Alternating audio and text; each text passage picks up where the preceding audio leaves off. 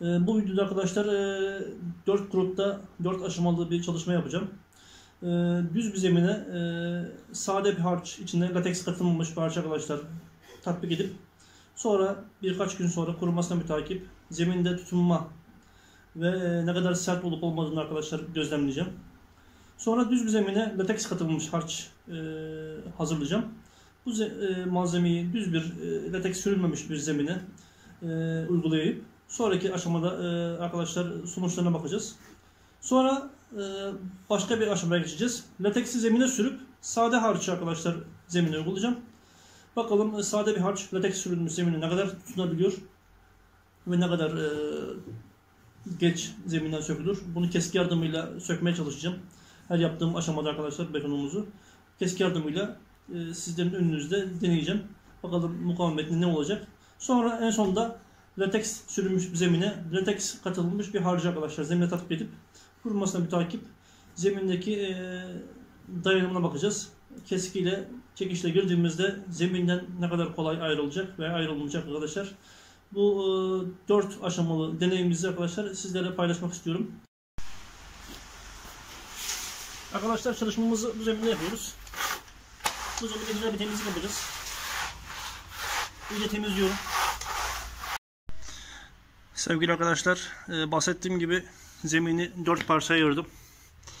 Birinci kısma düz zemin ve sade harç bölüm oluşturdum. İkinci bölüme düz zemin ve lateksli harç bölümü oluşturdum. Üçüncü bölümde lateksli zemin, sade harç ve son bölümde lateksli zemine lateksli harç arkadaşlar hazırlayıp tatbik edeceğim zemine. Bakalım sonuçlarını hep beraber göreceğiz. Zemindeki durum ne olacak? Sevgili dostlar, lateks deneyimimiz için mozaikle çimento karışımından sağlam bir harç elde edeceğim. C25 C30 beton ayarında bir beton yapıyorum arkadaşlar.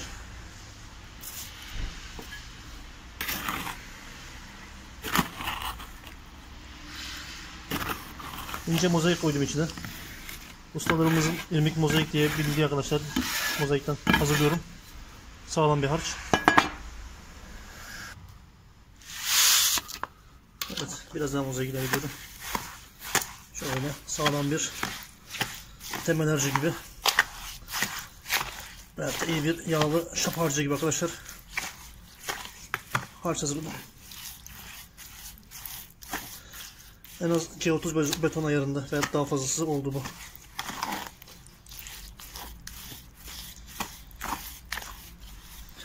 Belirlediğim zeminler arkadaşlar bunu tatbik edeceğim. Bakalım ne olacak. Arkadaşlar malzemenin şu an e, lateks katmadan hazırladım. Malzemeyi lateks sürmediğim zeminlere şu düz zemin arkadaşlar e, tatbik edeceğim. Şurada düz zemin. Diğerleri lateksli zemin olacak. Ee, önce burada e, süreceğiz. Diğer zeminlere lateks süreceğim. O şekilde deneyeceğim. Bakalım görelim nasıl olacak. Sade zeminlerimiz arkadaşlar sadece su süreceğim. Nemlendireceğim biraz suyla.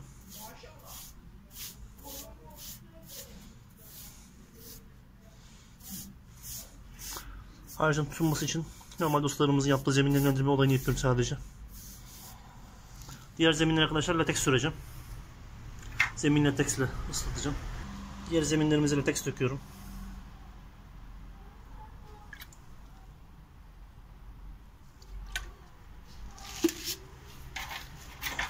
Şöyle fırçayla yaydırayım. Bu olacak.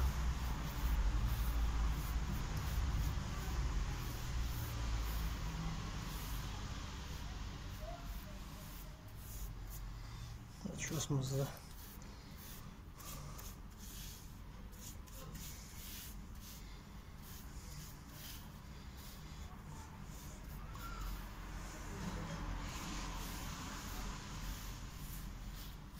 Evet. Diğer iki taraf arkadaşlar suyla nemlendirdim. Bu kısımları lateksle nemlendirdim. Arkadaşlar lateks sürdüğümüz zemine ama sade harcımı tatbik ettim. Şimdi arkadaşlar malzememizin içine lateks atacağım. Malzememi arkadaşlar şimdi lateks karıştırıyorum.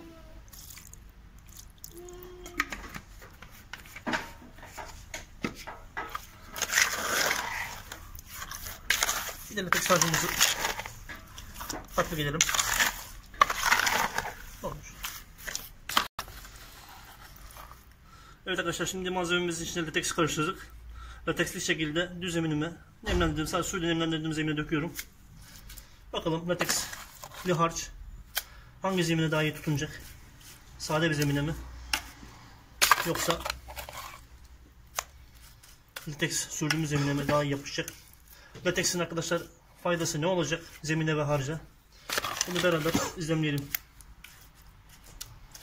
Lateks gerçekten işe yarar bir malzeme mi? Yoksa gereksiz bir malzeme mi? Arkadaşlar amacımız onu görmek. Evet düz zemine lateks harcımı sürdük. Burada en, en son kısmında lateks sürdüm zemin arkadaşlar. Lateksli harcımı uyguluyorum. Lateksli harç ve lateksli zemin.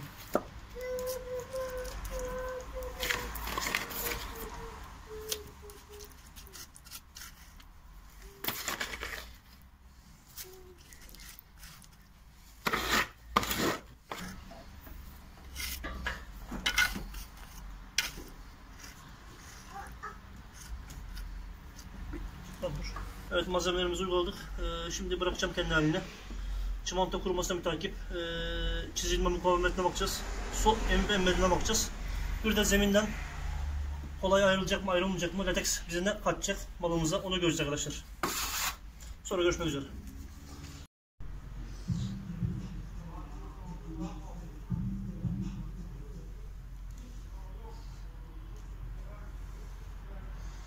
Arkadaşlar önce malzemelerimizin ne kadar su emmediğini kontrol edeceğim. Latex bu anlamda işe yaramış ona bakalım. Zeminimiz iyice kurur arkadaşlar. İyice dayanıklı hale geldi.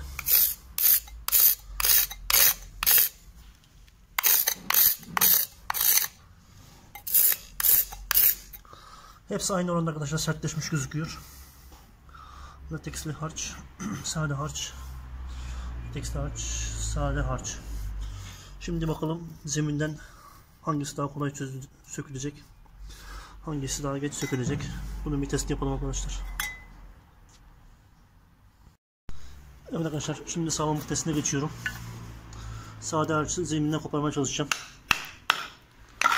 Gördüğünüz gibi sade harç zeminden kolayca koptu. Düz zeminde arkadaşlar lateks harcı zeminden koparmaya çalışacağım. Adeta burada hiç zemine yapılmamış harcımız olduğu gibi zeminden kalktı. Bütün halde. Şimdi düz zemine lateks, lateksli harç yapıştırmıştım. Bir de bunu buradan kaldıralım. Bakalım lateksli harç zemine ne kadar yapışmış. Wow. Lateksli harç da arkadaşlar zeminden kolayca kalktı. Lateksli zemin arkadaşlar sade harç sürdük.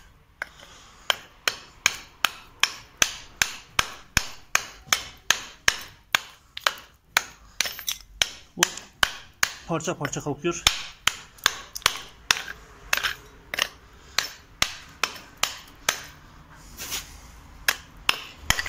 Bu da buradan bu şekilde. Lateksli zeminden de harç arkadaşlar kalktı. En son lateksli zemin ve lateksli harç karışımına darbe uygulayalım.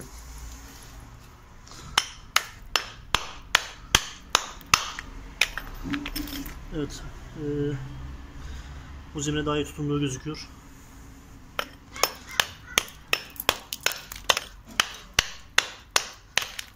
Parça parça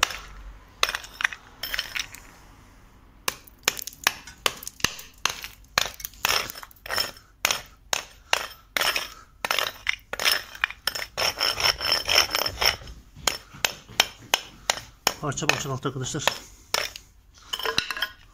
Ufalanmadan kalkmadı. Zeminde tabi zemindeki bir katman da zeminden kaldırdı boyalı. Zeminin beyazlığını da zeminden söktü aldı. Lateksler harç arkadaşlar. Lateksli zeminde güzel işe yaradı. Lateksli zemine sade arkadaşlar güzel oldu. Sade harç yapıp sadece lateks, lateksli zemine sürmekle dahi zeminde güzel bir sonuç elde ettik. Zemine lateksi kesin uygulamak lazım. Sürmek lazım fırça yöntemiyle. Buralarda gördüğünüz gibi hiç harç çok kaliteli olmasına rağmen e, zemine tutunamamış. Gördüğünüz gibi yerin olduğu gibi zemin duruyor yerde. Hiç zeminde çıkıntı kabartı yok. Olduğu gibi zeminden soyuldu çıktı arkadaşlar. Düz zemin ve sade harç. Düz zemin ve lateks harç. Arkadaşlar harcın e, latekste olması bir işe yaramadı. Harcın e, lateksin e, harçta olması bir işe yaramadı. E, lateksli zeminde arkadaşlar sade harç dahi e, iş yaptı. Yani zeminde lateks olması burada işe yaradı. Lateksli zemin ve lateks harç da işe yaradı ama ikisinin arkadaşlar ikisinin e, yarama oranı aynı oldu. Dolayısıyla burada aderans anlamında, tutunma anlamında lateks zeminde çok işe yaradı.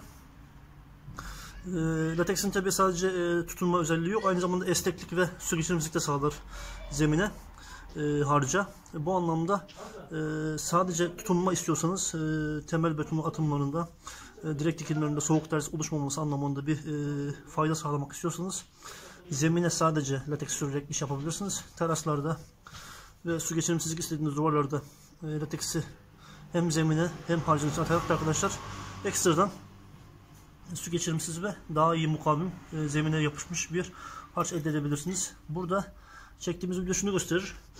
E, lateks soğuk ders oluşumunu arkadaşlar e, engelliyor. E, zemine tam anlamıyla e, harcamızın yapışmasını sağlıyor. Daha iyi tutunmasını sağlıyor. E, dolayısıyla e, bunu göstermiş olduk burada. Şu ikisi çok ilginç bir şekilde zeminden olduğu gibi koyduğumuz e, harç sıvı şekilde döktüğümüz harç zeminden kalıp gibi ayrıldı çıktı. Zemine hiç yapışamamış. Lateks harç daha iyi arkadaşlar. Zemine yapışamamış. Lateksin sürüldüğü zeminlerde gördüğünüz gibi zemindeki pürüzlü beton dahi söktü çıkardı. Lateksli e, lateks zemine sürüldüğünde e, zemindeki çimentoyu dahi eski hali dahi söktü çıkardı arkadaşlar. Ve zor söküldü parçalanarak. Lateksin e, zemine sürülmesini kesinlikle öneriyorum.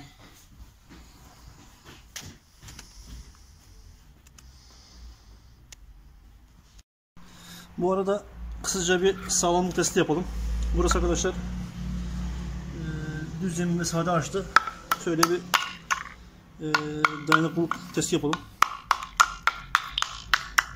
Arkadaşlar sade harcımız yağlı bir çimento ile yapmama rağmen çok kuvvetli bir şekilde ufalandı.